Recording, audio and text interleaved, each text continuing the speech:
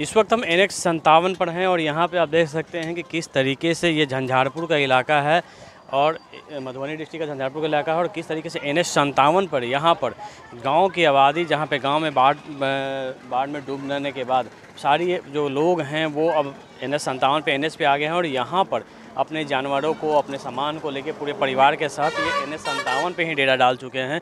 तस्वीरें वही है जो पहले हुआ करती थी। हर साल जब भी बाढ़ आता है तो लोग ऊँचे स्थान के को लेकर इस इलाके में रहते हैं। कहाँ के ज़्यादा लोग हैं यहाँ पे? हाँ? साठ सीमा के यादव लोग। लोग। हम्म, पूरा गाँव में पूरा पानी है? पूरे गाँव में पूरे घर के अंदर में पानी है। कितना दिन से पानी है? तीन दिन से। तीन दिन से यही हाल है तीन दिन से यही हाल है। तो वहाँ जाने का कोई साधन कुछ नहीं कोई साधन नहीं। देख सकते हैं कि यहाँ कि- कि कितना लोग होगा यहाँ पे? लमसम यहाँ पर दो हज़ार से ऊपर। प्रशासन का मदद मिल रहा है यहाँ? कुछ नहीं। हाँ? कुछ ना। बाढ़ प्रभावित इलाकों में प्रशासन नहीं पहुँचा है? नहीं।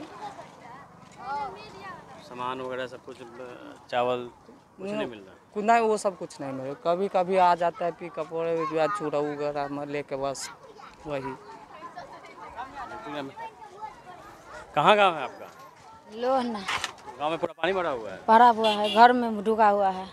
सब बाल बच्चा मिल के लंच पर बैठा हुआ बिस्कुट आ चूड़ा दिया है। अब खिचड़ी काल से बटा हुआ है। लेकिन घर जाने का पूरा रास्ता सब सामान डूब नहीं निकला है घर से।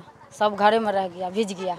अन्न पानी जितना लत्ता कपड़ा सब चीज़ किछ नहीं निकल पाया। सही हाँ वही किछ नहीं निकल पाया। क्या पहले भी बाढ़ आता था कि अचानक आया? ना पहले भी आता था लेकिन मैं इस बार बारह साल के बाद आया है। हाँ हम ये थोड़ी जानता कहाँ घर है बाबा आपका?